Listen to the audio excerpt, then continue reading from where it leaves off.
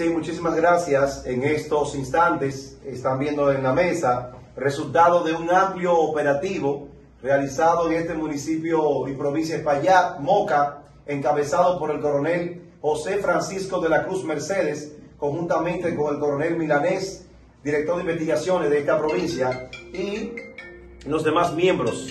Ven el resultado de este operativo donde fueron arrestadas varias personas ya más adelante, en el transcurso de las horas de mañana, van a tener la nota de prensa donde se va a detallar todo lo ocupado y los detalles sobre los detenidos.